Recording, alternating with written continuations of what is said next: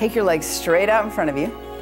Now I said in my previous show we're gonna do some footwork. So if you were doing all that with your socks or shoes on, now's the time to take them off. And look at your feet. I'm gonna show you some things you can do with your feet you probably didn't realize. When you just put your hands beside you like this so you can support yourself. Just flex your feet, pull your toes towards you, push through your heels. Now point your toes. Flex your foot again. There you go. Your feet, both your feet, and point. Okay, so from here, keep your feet in a pointed position. Then we add a move of pulling the toes back. We call that flointing. So it's a cross between flex and point. So you have a floint. Yeah. You spread your toes, floint those feet, and now relax them. And just shake them out. Just shake them out. Good. All right, so now we're going to bend your right knee. I want you to bend your right knee and bring your right foot into your right hand.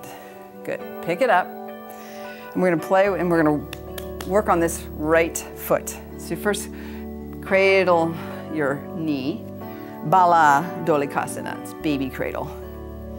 Dolika in Sanskrit is cradle. Bala is baby or child. Good. And then we set the right foot on top of the thigh.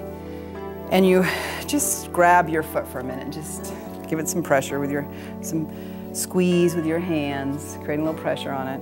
And then take your left hand, place it on the top of your foot, and just pull your toes, the top of the foot. You're bending, you're pointing it, but this time you're not using the muscles of the foot, you're using your hand. The, the hands help to point your foot. And then your hands help to flex your foot. And then you point and flex and pull back and forth. Yeah. This is where I love to say, grab your toe, the big toe, and start to turn and twist. And this is where I like to say, this little soybean went to yoga. This little soybean stayed home. This little soybean did down dog, and this little soybean did none. And the last little soybean ohmed all the way home. But all the soybeans got a pedicure. so I want you to massage the bottom of your foot with your thumb. So if you, you can see in the, in the, on the television, I'm pushing the bottom of my, right at the base of my toes with my thumbs. You know, the, the whole thing about reflexology, and they say the whole ma map of our body is on the bottom of our foot. So up above the toes is up to do with around our head, sinuses. You move down into the chest and heart and shoulders, and then you're massaging the top of your foot. And then down to the sole, the soft tissue. Don't press too hard here. It correlates with your, your abdomen and your torso. Good. And then down to the heel. That's getting down into your hips and parts of the legs. The spine runs on the outside of your foot.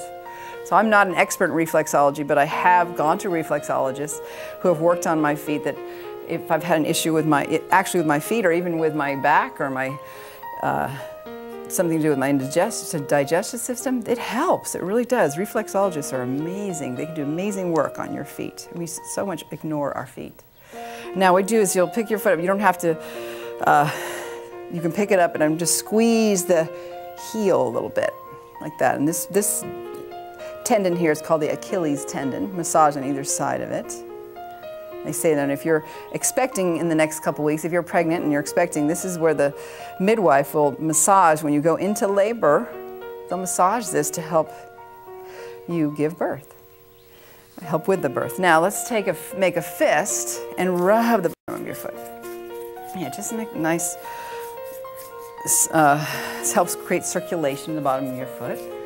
And then we do a little tap, just sort of tap the, from the heel.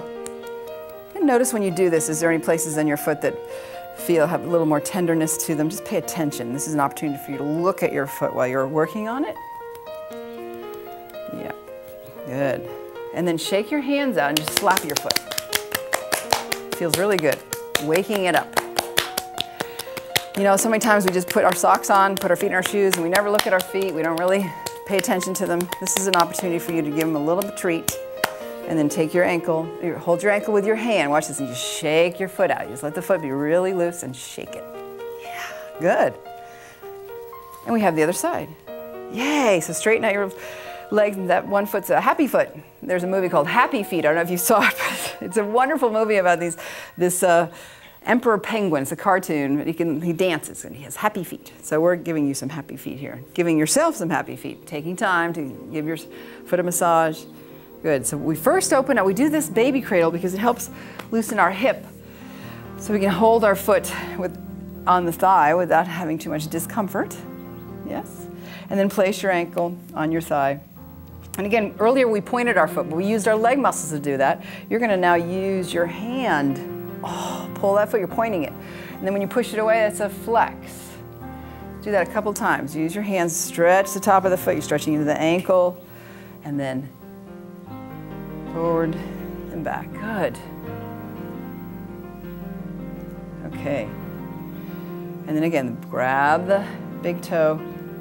You can say to yourself that little soybean story, going to yoga, not. But definitely all the toes get a pedicure. It's good for your feet. If you, um, like I said, I, I, go every month before the show and I, I love it. It's such a good treat for the feet. All the way down. But you give your own foot massage. It's, like I said, it gives you an opportunity to look at your toes, to look at your whole foot, to see if anything you're changing on your feet. Excellent. And then we massage the foot, putting the, the thumbs at the base of your toes, fingers at the top. Yeah. So you, you can vary your foot massages. Sometimes I'll put my fingers between my toes, sometimes I won't, but just make sure you get some um, stimulation and movement and, and pressure into your feet and your toes. You could do this every morning before you take your shower, after your shower, before you put your shoes on. Just give your feet a little care. Yeah. Excellent. Because you know you're helping your whole body when you start your feet. They're our foundation. And when they're not happy, parts of the other body of our body are not happy. Now make a fist and you rub the bottom of your foot. And then with your knuckles, just knock it, top, tap it. Yes. Good. Shake out your hands and slap it. Ooh, that feels so good. I hope you're trying. And now grab your ankle and shake it out. There you go. All right. Happy feet.